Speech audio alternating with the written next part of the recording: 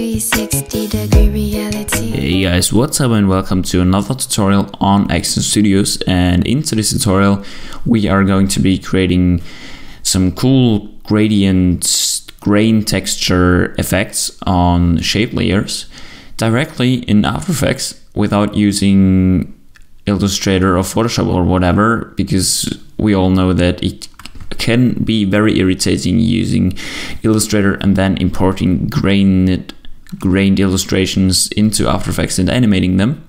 So yeah, I hope this is gonna be useful for you guys. And to start off, we have three different grain texture technique effects. To start off, we have three different um, techniques for this gradient effect and I'm just going to start with the first one by making a new composition and of course a background solid should be white okay and then just make a circle or whatever shape you have whatever illustration you have and um, yeah just have a just have some random color on it and um, then I'm going to center the anchor point. Okay, cool. And then I'm just going to duplicate this layer and go to effect. No, actually to layer, layer styles and add a gradient overlay. And then set this mode here to dissolve. Then select your layer with dissolve and press T for opacity and drag it down to maybe 40 looks good and then go all the way down to your layer styles again to gradient overlay make it invisible and edit the gradient oh okay and then instead of white right here we want to have our main color of our shape as uh, the first color stop of our gradient so let's press OK now and make it visible again. And then we can see we already have a cool gradient effect right there. And of course you can also change the rotation and also if we want a, a more of a harsh um, gradient you can drag this point this midpoint uh, to the right and that that's it. And we can still change our opacity of this. And now we have our first cool gradient effect. Now one thing that's um, could be good could be bad about this technique is if I parent that uh, this gradient to our main layer so that we can move it around um, it doesn't change or randomize our uh, grain effect which we can see uh, on this square in this example. It looks like the grain is just some overlay which stays at the same place. But on this effect, we have um, it, it changes at every single frame when it moves. And in order to achieve this effect, which is also, maybe you noticed already, um, doesn't have this fall off in opacity, uh, because it is a mask. So in order to achieve this effect, I'm going to delete this layer again and duplicate it again.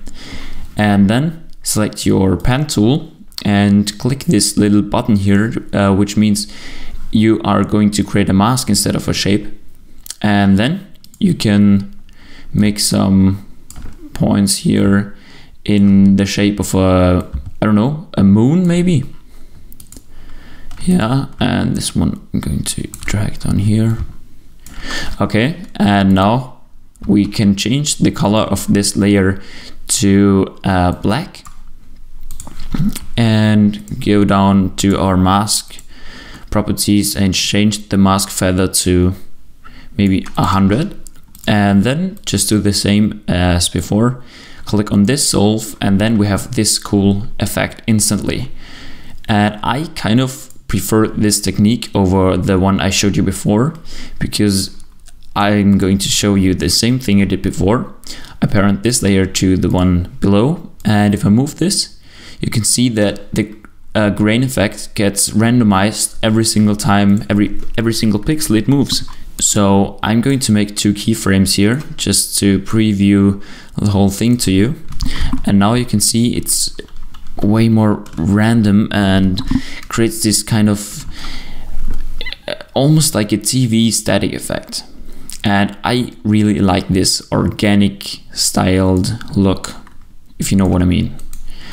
Uh, and that's also what I did for the third one. But you can see at the third one, it still randomizes after it's um, it's just standing there, it's just sitting there. I can show you like this. You can see all the others are static and this one is still changing and randomizing itself. And what I did there is uh, I went to just click P for position and option click this and type in wiggle and then to 10 and now we can see it um, moves all the time but it kind of wiggles out of our circle which we don't want. So I'm going to scale this up and duplicate this layer set it above this one and then you can just go to track matte and set this to alpha matte and now we should be fine.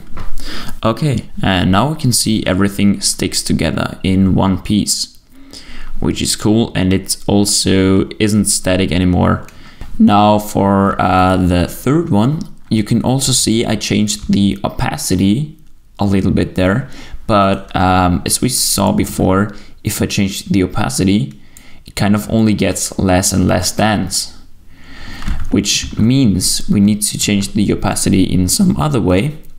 Um, and a workaround that worked for this method here is uh, going uh, clicking this fill tab here and just eyedropping this color here and then just dragging down this B which stands for brightness right there to maybe 40% uh, and then we can see it's not black anymore but it looks like it has less opacity but in reality it's just a um, lower blue tone of this one of this shape. Let's see. Yeah this is pretty cool. And um, now there's plenty of things you can do with this method here and one example which I actually um, got the idea for this tutorial from is by Ross Plasko. His Twitter is in the description. And yeah, he made this awesome GIF or GIF, whatever, inside After Effects, everything inside After Effects. And this is really impressive. Like, look at his, his fingers. Uh, there. Wow. There was a lot of masking probably and yeah it just looks it, has this atmospheric feel to it which just makes the whole animation like 10 times better. And yeah i hope this tutorial was helpful for you and if it was, please subscribe to my channel and give a like so that I know that you like these kind of tutorials and have a look around my channel. There, I bet there's a lot of stuff that will be helpful for you and your After Effects career. So check that out and see you in the next tutorial. Bye.